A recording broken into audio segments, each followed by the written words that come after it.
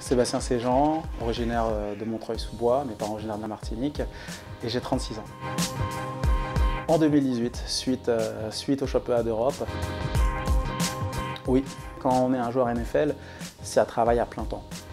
Après, quand après je suis revenu en Europe, j'avais une partie qui était forcément liée au travail et une autre partie, euh, je bénéficiais euh, de bourses, de bourses de haut niveau. Mais il faut se dire que c'est pas grâce à ça qu'on vit. Donc forcément, on est obligé d'allier le sportif, mais surtout le professionnel à côté. Donc je travaille dans la sécurité et la sûreté. Donc euh, je travaille pour la compagnie Tiffany Co, donc dans la joaillerie. Et mon travail consiste à aider les boutiques à faire du business, mais tout en respectant les procédures qui sont mises en place par la compagnie.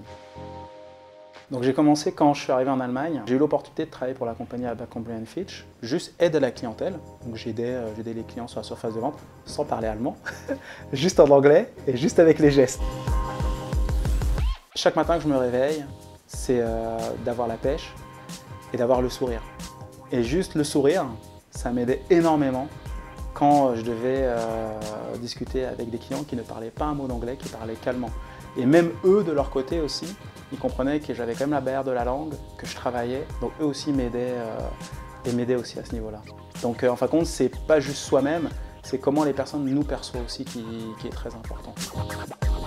Donc j'ai commencé à Abercrombie Fitch où j'ai vraiment appris tout ce qui est la partie retail, business.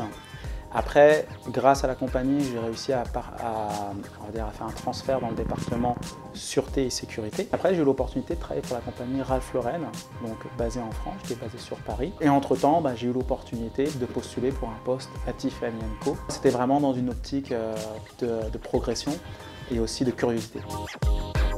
Je pense qu'il y a une grosse part de, euh, curiosité. je suis quelqu'un de très curieux, donc je pose pas énormément de questions, mais j'analyse avant de, avant de poser des questions. Mais je pense que c'est surtout aussi lié à ma carrière de sportif. C'est-à-dire que quand on est sportif, eh ben forcément, euh, on a un côté performance, et pas juste performance pour gagner des titres, mais des performances pour bien faire, et très bien faire aussi. Donc euh, une, connotation, on va dire, d'excellence. Et je pense que euh, c'est pour ça que entre quand j'ai commencé vraiment à travailler et aujourd'hui, c'est ce fil conducteur qui m'a toujours drivé. C'est une adaptation qui se fait tous les jours.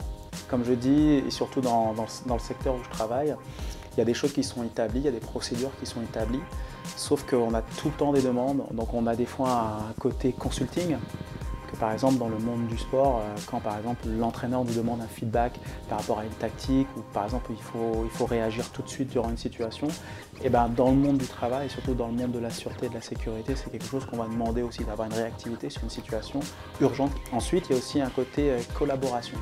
Euh, esprit d'équipe. C'est-à-dire que chaque fois, quand je discute avec des collaborateurs, je ne les considère pas comme s'ils travaillent dans un autre département. Je les considère comme si on travaille ensemble, on est en collaboration et on, est tous là pour travailler ensemble pour faire, on va dire entre guillemets, du business, mais surtout pour amener la compagnie à un niveau élevé au niveau de l'excellence.